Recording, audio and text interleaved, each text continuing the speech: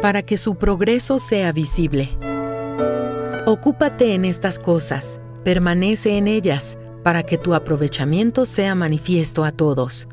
Primera de Timoteo capítulo 4 versículo 15.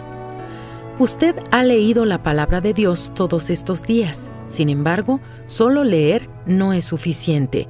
También hemos meditado en los versículos escogidos, buscando extraer de ellos el alimento para nuestro espíritu. No basta solo con llenarse de conocimiento.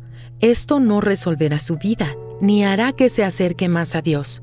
El espíritu religioso, en todas las religiones, inclusive la evangélica, ha impedido que sus víctimas mediten en la palabra de Dios. Él las hace pensar que el vasto conocimiento y la memorización de los versículos bíblicos son suficientes para agradar al Altísimo. No obstante, los versículos memorizados no harán nada por usted en los momentos de dificultad, porque la memorización lleva la palabra al corazón, no al espíritu.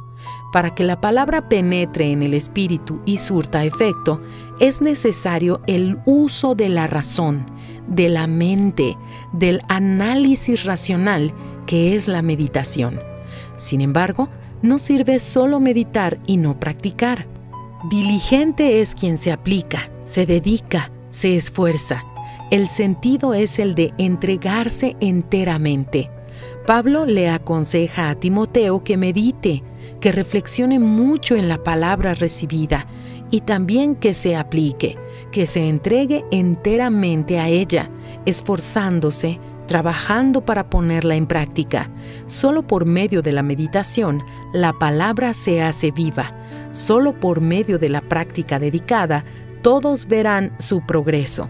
Esto es vivir la fe. Más que simplemente leer, reflexione sobre lo que ha leído y practíquelo para que su progreso sea visible. Fragmento del libro El pan nuestro para 365 días del obispo Edir Macedo.